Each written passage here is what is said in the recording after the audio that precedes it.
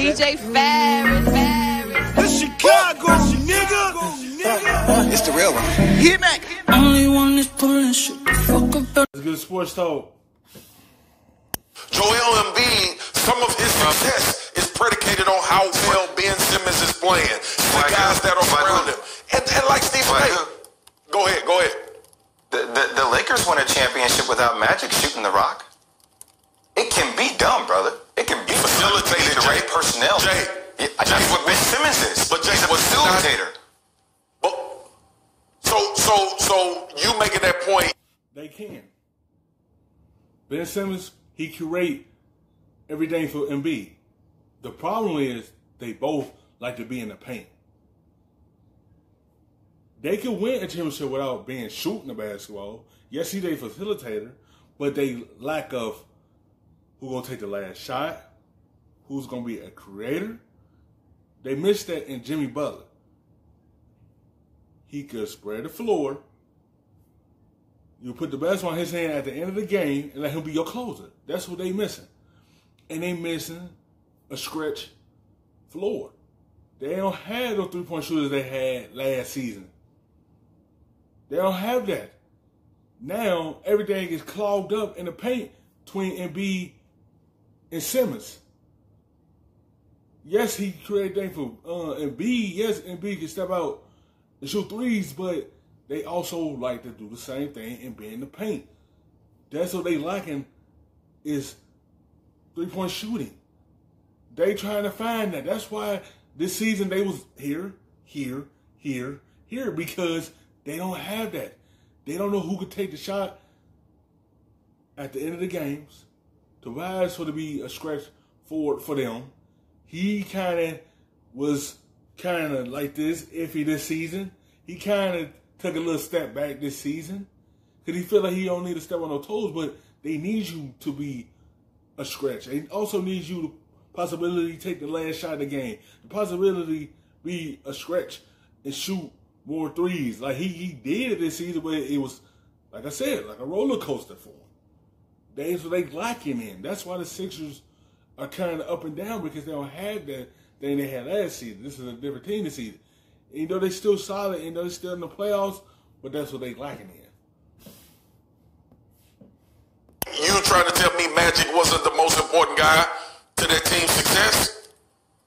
I'm saying, but it's just not around him being the most important. It's about what are the pieces that you're surrounded with. And I think ultimately, if Brett Brown can't get it done this year, the question that this team is going to find themselves faced with is, can these two work together? And if they can't, then who do you build your team around? And I've said it multiple times, considering Joel Embiid's uh, history of injuries and not knowing which way the league is moving as far as traditional bigs, I would have a tendency if they can't get it done with Brett Brown, and if they do have to make a decision to split them up, I would build a sim- I would build a team around Ben Simmons rather than Joel Embiid.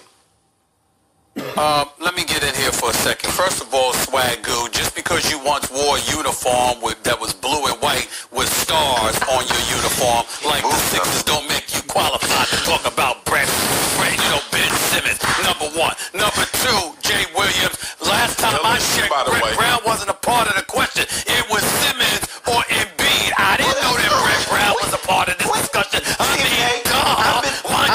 so many times, A, and I watch jersey? you change And let's get I'm.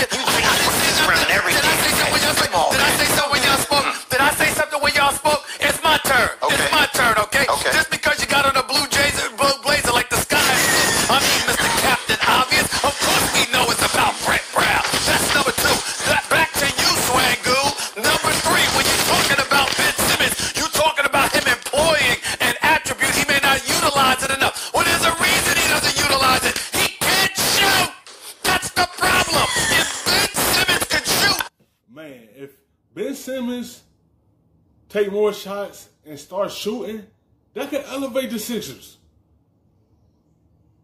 That could really turn everything around for them. Now he can stretch the floor. That could bring everyone out of the paint and create everything for Embiid and you. But when you not taking those shots, the defense are going to back up and clog up the lane, and there's nothing open for Embiid or Simmons. He don't shoot. I think he took what two shots this season, and that's about it. It's bad enough they already surround you with three point shooters to help them out. They don't want to have to start over.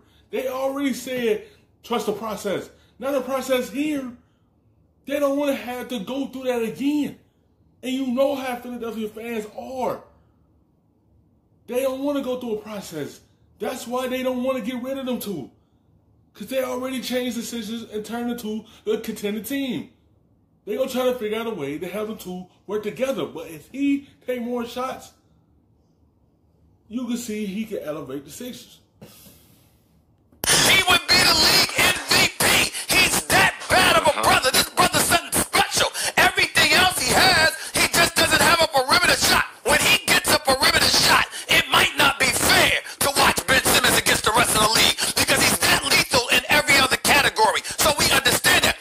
Because that is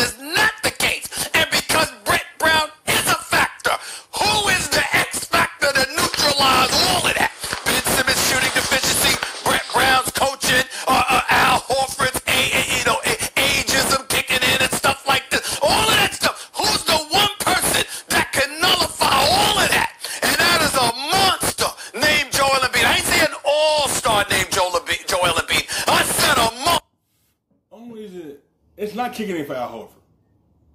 It's not kicking in. Al Horford is used to playing the five.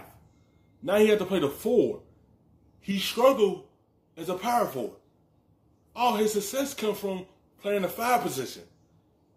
He know when he put his name on that dollar line that he was gonna play the four because Embiid is the five.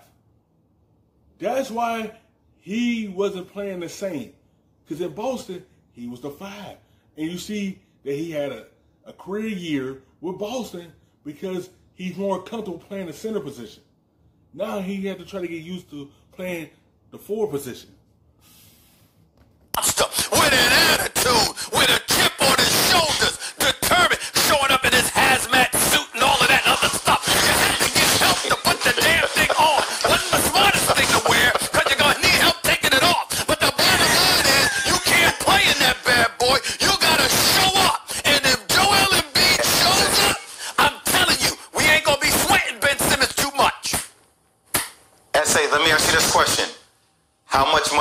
bet on Joel Embiid showing up in these playoffs we're about to see? Are you betting on that? Knowing what you know about Joel Embiid, are you betting on that? I need you to take a stand. You know, you, you, you know what? I'm gonna bet on it. I'm gonna bet on him. I don't think it'll be good enough for him to come out of the East, mm-hmm. but I'm gonna bet on him mm-hmm. doing it. I'm gonna bet on him showing up. I'm gonna bet on him go showing ahead. up. Okay. Since, since we had a since we had a damn discussion about the question, I'm the rundown right here. This is rundown, okay? Yeah. This rundown Gotta says say those things down. more important. Who's more important for the Sixers I than the. Joel Embiid?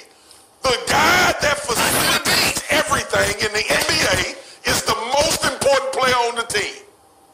And all I'm saying is That's not the beat. I'm sorry, that's not the You're asking the wrong question on the rundown. That's what I'm saying. That's the Not wrong the question.